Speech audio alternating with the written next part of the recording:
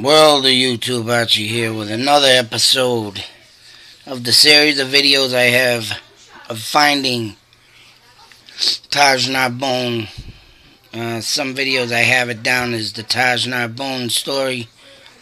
and to update everybody if you haven't seen these videos yet, series of videos that I've been doing due to the fact that this boy has been missing for 37 years and I mean, I if I could, I would search for every missing kid throughout the world, but you know, time is a very bad essence for me. I ain't got much time to do shit. A lot of stuff going on in my life, but when I do get time, and I'm hoping to make this one day a full time job, my videos on YouTube, because you know, working for other people and businesses and stuff just literally sucks. I feel I have a purpose of why I'm on this earth, and I think that I should be doing this type of work due to the fact that things that you read in the um, articles on the websites and a lot of stuff misplaced, mis, you know, spoken of and it's just disgusting and sometimes when the story is not right I like to try and make it right. And I did a clean out a couple months back and I uh, happened to get myself a little pot of gold of some old newspapers and history to me is very valuable in life whether people think of it and like it or not I know I do. And this history goes back dated to March 31st, which would be the anniversary of this story, 1987. It's the uh, Sentinel Enterprise. I just took this and cut it out for my records. Volume 148, newspaper 85, and due to my contribution to this missing case. And I mean, like I said, I, I have tried searching for other people like Jeremiah Oliver, and if anything else I can come up for missing persons, I will do it. And there's actually a uh, another story I'm doing. I just need to get out to Swampscott. And there's a missing boy out there, like 15 years old, 14 years old, and he was uh, what was his name? Henry Bernard, I believe. I think I'm saying his first name wrong, but I gotta look that up. His Bernard is his last name. And that kid ended up getting killed with his head bashed in on uh, Swampscott back in 1977. So, I mean, murder was never solved. Just like this murder was never solved. And I mean, the reason why I did take an interest in this story is because I had a brief encounter with this kid, Mr. Taj Narbonne. and it was in, uh, happened to be in Leominster, probably in the 79, 1980 times, just before the year he miss, ended up missing in 1981. Due to the fact my parents used to go to 135 Mechanic Street to a couple Canadian people they used to visit and uh, it has now since been changed into the house has been changed into a hair salon. as funny as that looks, knowing I used to run around in that house and play with their son and daughter, and and, uh, and sometimes I'd get bored and there would be nothing to do, and I'd just head out the door and just wander to the park. And I think it was there, or it's very vague because of the. Uh, Because I never thought I would, uh, you know, be hanging around with this kid. But if I would have kept going to this house to visit, which they happened to ended up moving, and then my parents started getting into their own, you know, bad relationship, splitting up. but, it, you know, it turned out to be a mess. And during the split up, I took on my own, you know, closed closet door case type thing to shut out the you know, the bullshit around me of what was happening. But I, I, I could have, you know, I ended up moving to Leominster with my father. The split up in 1982, so there once again I was wandering the streets, and I would have ended up being probably this kid's friend if we would have met up again like we did in the, you know, the past. So that's why I took it upon myself to do this. And things that have happened in between, you know, since 1982. Damn it. Excuse me. When I had uh, taken a carton of milk. Now, for all you youngins that don't know what a carton of milk is, it's a half a gallon of milk in a cardboard box. And this actually speaks of it in the article here, stating how they are still treating this seven years later as a runaway. And as you can see the title, my, I screwed up. I friggin' taped over that, made this thing crooked. But mother still waiting for son Taj to return, which is now 37 years or 36 years or whatever it's been, and he ain't coming back. He would have already have shown himself being a full-fledged adult, unless that, unless he was that scared of Mr. Clarence Dean, the one who literally tortured the boy of calling him the White King, calling him, you know, names and beating him with a belt and just sick things back in the day that used to happen. And if this kid was that scared and that much of not wanting to show his face to this day, which I don't know why, because hey, if he's at that point where he thinks he needs protection still from this guy, man, look me up. I'll knock that old bastard out for you if you're that petrified. But I know for a fact this kid ain't alive.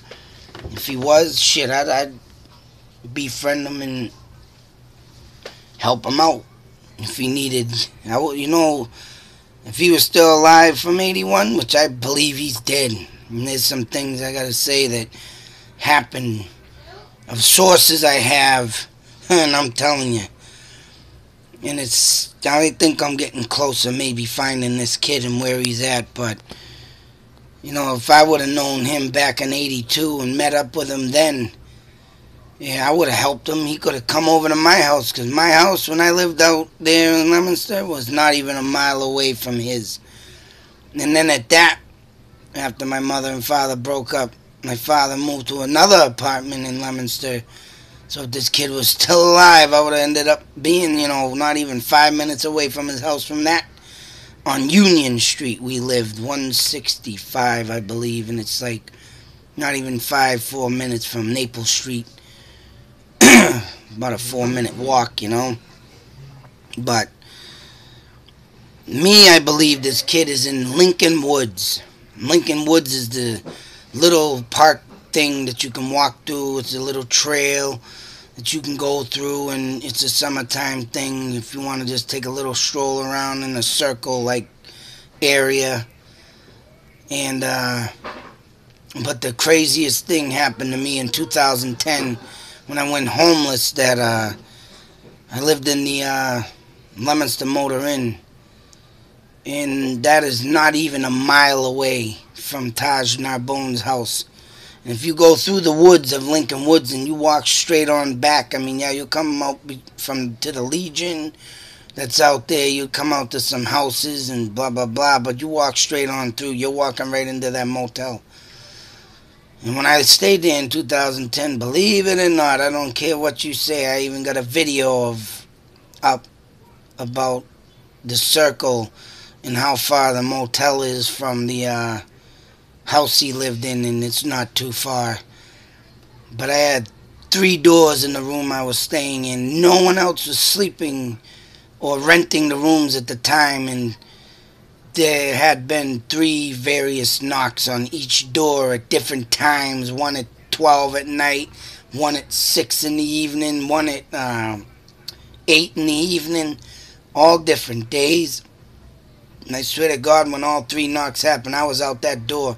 The last three various knocks, and I was running around that building trying to find someone pranking me, whatever, freaking kids or something, or the manager was up my ass all the time there, the owner of the building, because they were trying to catch us with the snuck dog we had in, which was ten dollars a fucking week to have a dog in there, and uh, it was just all kinds of insane shit. But could it have been the knock of Taj Narbonne looking for my help? Because I'll tell you something right now.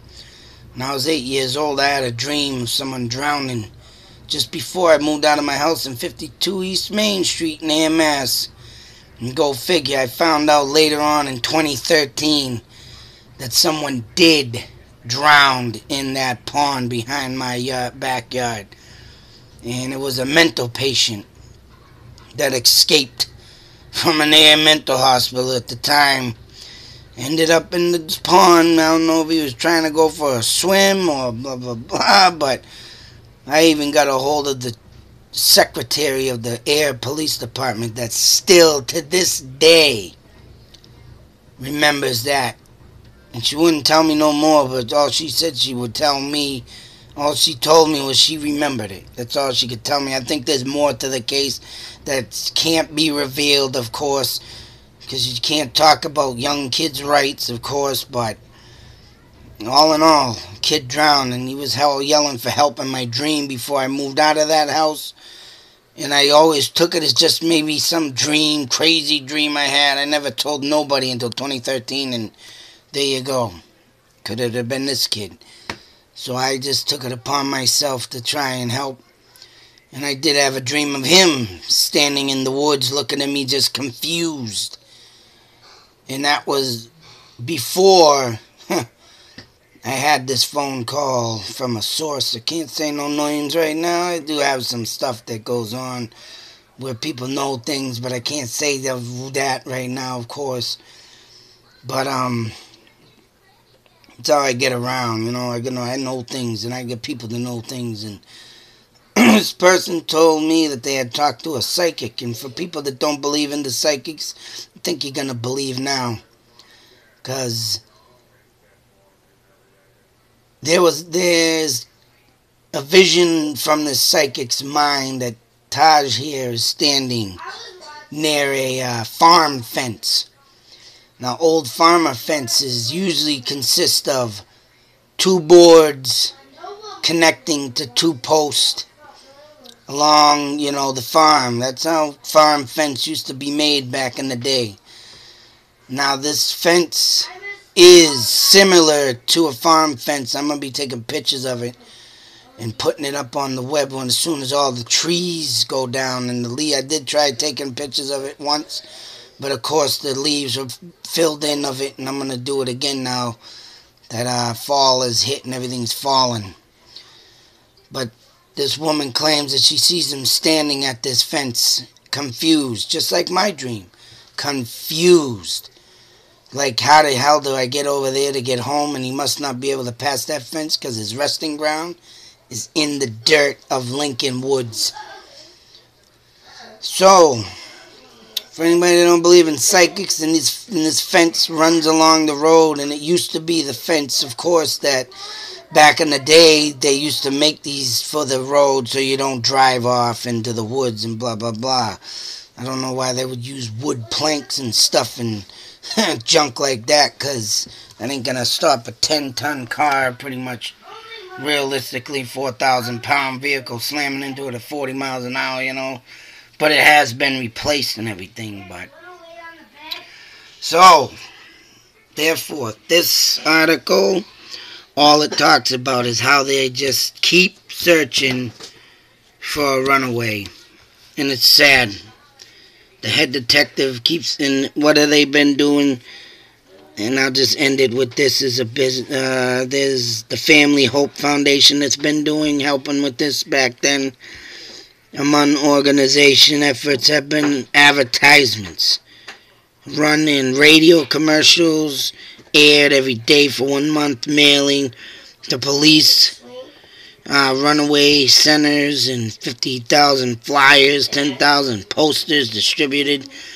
And it wasn't until 1992, I believe, or whenever uh, Walmart opened up in Leominster, they had this article up on their wall. I forget what year. It might have been. I don't know how long. I forget how long that Walmart's been open. but they had the. I think it was '95. That's what it was, maybe. But they had this article up on their board. But they, yeah, that, look how long the timeline goes. You know, you think after many, many years, and, and the mother even says it, after six years, it's time to wake up to reality, a realisticness that she has, that now he's not coming home. I mean, she has divorced Dean. She, too, though, why people don't think Dean did this is insane because he kidnapped her. And you look up Clarence Dean versus the Commonwealth, and you see what he puts his mother through, and you'll know damn well from that article, if you read it, that he killed this boy due to the fact that he stabbed his mother, he tried raping his mother. I mean, they were separated at the time, but he he was a brainwasher. He could have freaking convince you into anything. He convinced the people in the family that he was going to make amends with the boy and settle his differences and stop treating him with bad behavior. And that's what he did. He stopped and he killed him. He got rid of him. Because, oh, he ran away from me. So he ran away. He didn't want to listen to nobody no more. And even the letter to this day sounds like an adult written it. Um, I am going away because I don't want to live here anymore. I don't have to listen to anybody anymore.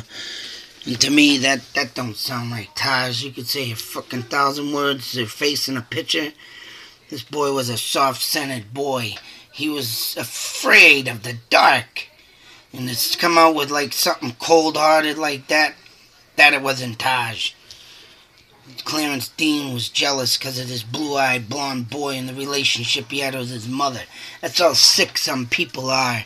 They get these freaking relationships with women and they think they own them like a piece of meat and property, and that's what Clarence Dean thought of Annette. You're my property. You come to me. And you, all your boys in the way, you need to get it. You, you treated it like it was a boyfriend girlfriend relationship. What a sick prick. But I could go on and on about this, but I gotta get out of here and and uh, it's just sick how this ended though. And like I say, once I get going on my videos, man, and things start to blow up, this will be my full-time job, and I will be doing stuff like looking.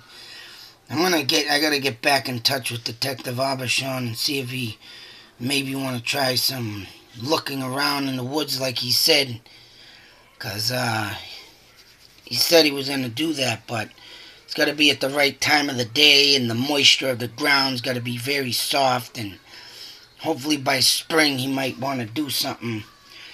And uh, I'll help him out as much as I can, and hopefully this vision from this uh, psychic will make him believe and get on it more, you know. But anyways, world of YouTube, once again, the story of Taj Narbonne. And like I said, the gold mine of uh, history has opened up doors for me. I got a bunch of papers I gotta go through, see what else I can find. But other than that, YouTube Nation, till the next video, many more to come. Out.